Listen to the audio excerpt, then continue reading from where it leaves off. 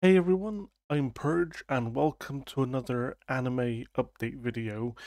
Before I get into it, um, I will say I have a, a couple ideas for a couple more custom lists, which I haven't actually done yet. If I um, do them, I'll talk about them in the next update, but I'm just thinking about it right now. We'll see what happens.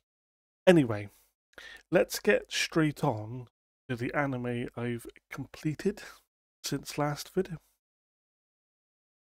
So we'll go back to my list, go to last updated. Now there's quite there's been quite a I've I've uh, watched quite a bit, um, quite a few anime uh, since last update. So, starting with Aesthetic of a Rogue Hero. It's it's about a okay in the world of this of the show, um, people from our world are randomly summoned to other kind of fantasy worlds, and while they're there, they develop superpowers essentially, and then some of them find their way back to um, our world, and then they join a kind of military academy and the purposes of training kind of soldiers that then become that have superpowers that then become um, peacekeepers for you know the rest of the world. So this guy uh, right here the main character he becomes this really renowned hero in the in the fantasy world that he's in. He then comes back to his own world through a portal, and he brings uh, this girl with her, uh, with her, with him. Turns out she's actually the princess. Uh, well, yeah, she's technically the princess. She's technically the daughter of a demon lord that uh, the main character vanquished, and so he was kind of tasked with taking her with him. So he takes her with him, and they both go to this academy and uh, the story goes from there. I I'm hesitant to engage like say about a bit too much about it, but yeah, that's essentially the story. They both go to this kind of academy for superpowered soldiers. It is it is ecchi, so if you don't like that, you may not like this, but it is fun. I gave it a seven. It was good. I then watched the um specials, the uh, Aesthetic of Rogue Hero specials, they're very, very short. They're a couple of minutes long, and they're just kind of fun. Um, they're fun little sides for the uh, main show, so that was actually pretty good too. Then I uh, watched and finished Manyu Scroll. This is okay. It's set in an alternative uh, Japan, the Edo period, and um, the without getting too much into it, the main character. Okay, like actually, let's back up a little bit. So in this society, um, women's breast size um, actually is considered um, it, well, it's considered all important. So if they So if they're, if they're quite large, they're higher in society, they get more respect, more money. And uh, this girl right here, she has the power to not only reduce the uh, size of other women, but she can she can use that size to size to increase her own to increase her own size, and it kind of and then she sets out on a journey to kind of change um, society. And again, as you can imagine, it's literally an anime about boobs, so it is uh, ecchi. But again, it's uh, pretty fun. The animation is good. The concept is interesting. If you like that sort of thing, but yeah, it is good.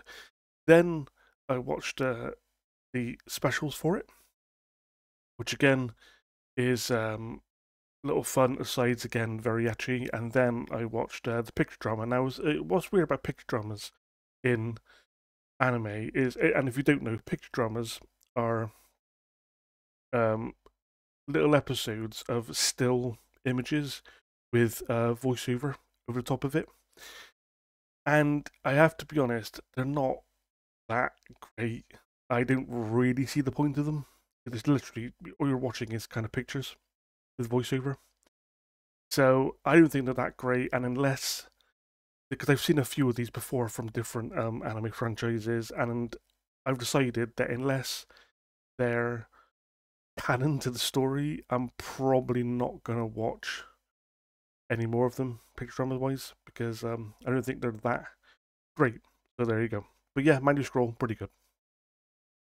Uh, Resort Boing, yeah, I wouldn't say much about this one because it is a very uh, culture, a very cultured anime, and it is the sequel to Boing Lecture down here. And I will say that uh, Resort Boing is way better than Boing Lecture. So if you like some nice culture anime, Resort Boing, very good.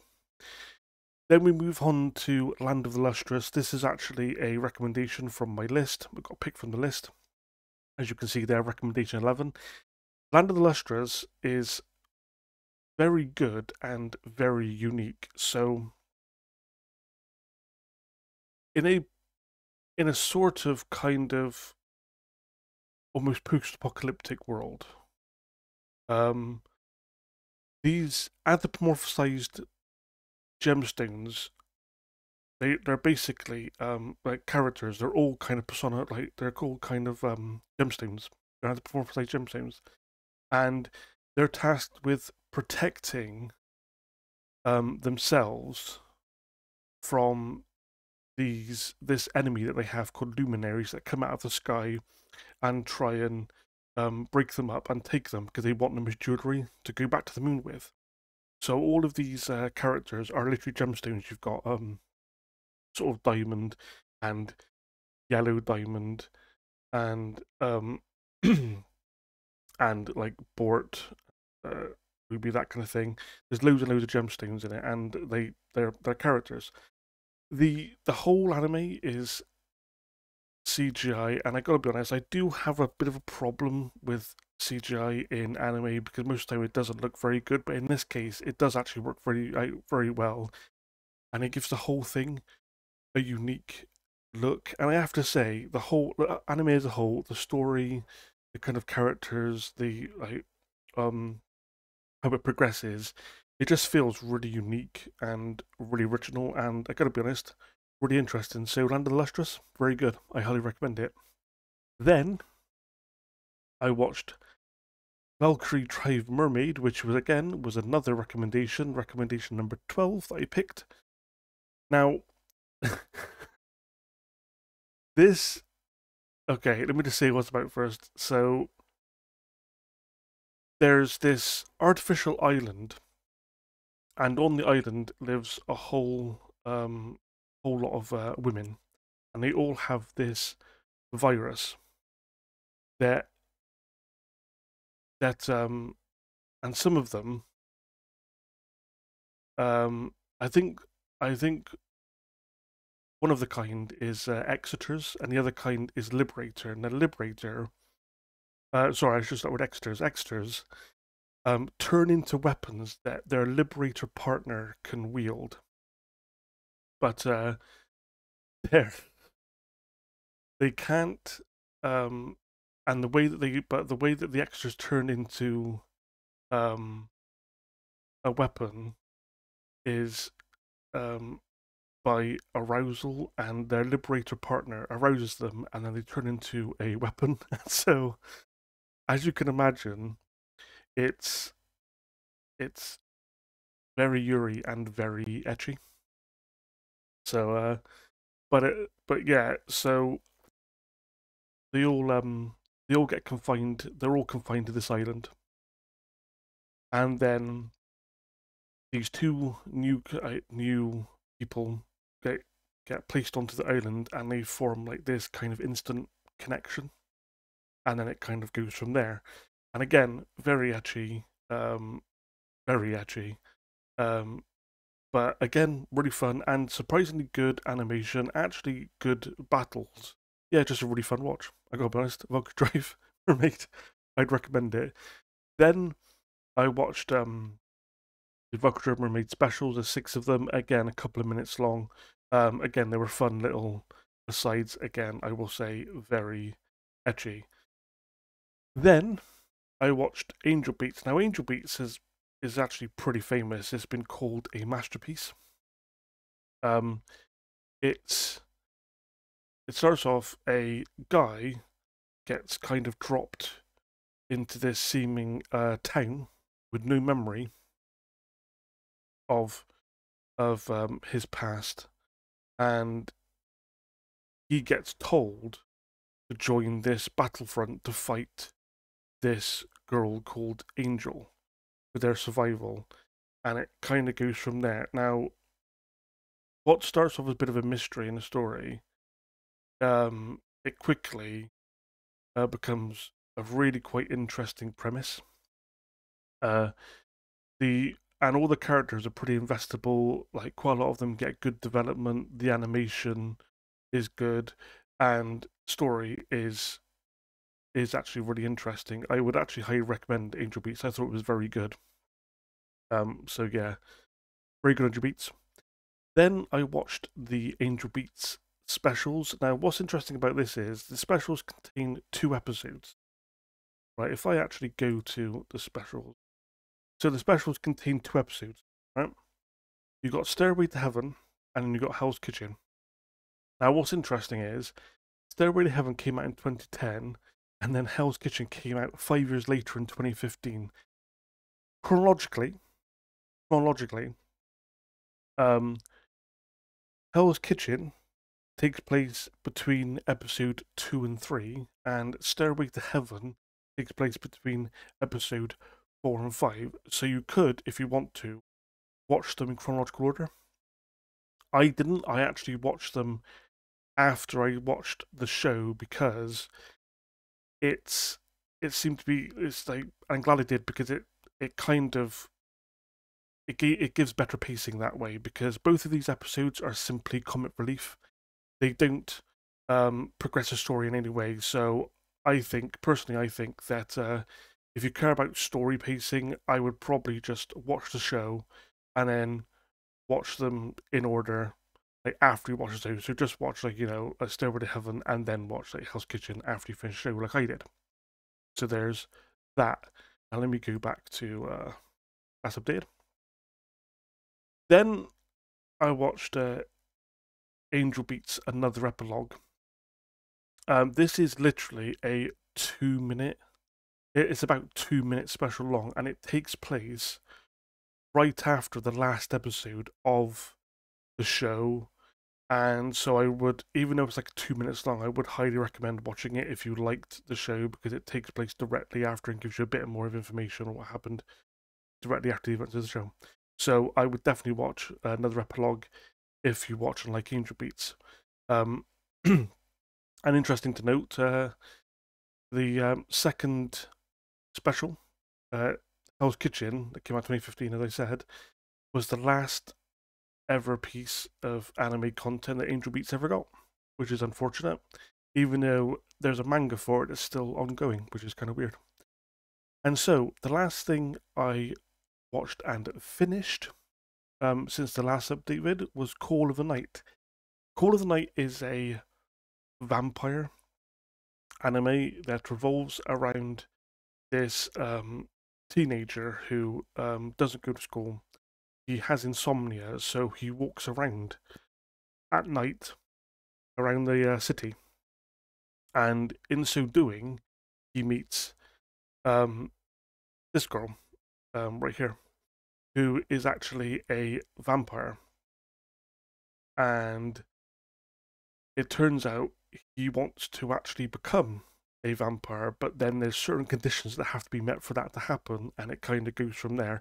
It's it's basically a kind of vampire romance anime, and it's actually very good. It's well written. I liked uh, the characters. I like the build up in the uh, sort of relationship. I like the peripheral characters as well. You see a couple of other characters in there, a couple more vampires, a couple more humans that are pretty good.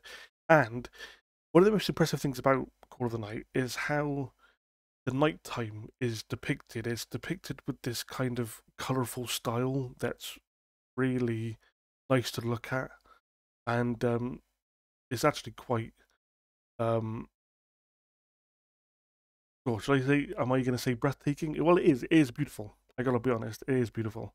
Um, the way the night's uh, depicted with the lights and uh, the shop front lights and the um, street lamps and the purples and the sort of yellows and greens. It looks very, very nice. So I highly recommend Call of the Night. It is actually getting a season two at some point, so I'll definitely be watching that. So that is everything I completed since last video. So now we'll go on to what I've been watching. Now, what I've been watching hasn't really changed much since the last video because obviously everything that I started watching since the last one um, I finished, so it's obviously not here anymore. But anyway, I watched one more episode of Undead Unluck, and yep, it's still really, really good. In fact, it might even be one of my favorite animes now. It's gonna be, I'm gonna give it a really high rating when I finish it. It's really, really good.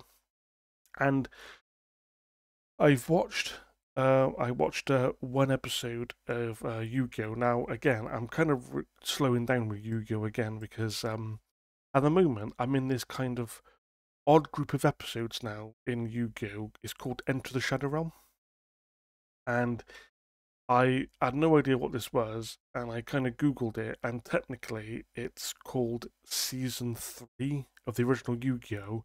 And apparently, all of it is filler so, as you can imagine, the story's kind of gone off on a completely um, on a complete tangent that's apparently kind of useless because it's not canon. So, yeah, it's kind of weird at the moment, but I'm still watching it. Obviously, I still do like Yu-Gi-Oh, but it's just kind of Enter the Shadow Realm. Kind of weird. And lastly, that's everything that I've been uh, watching.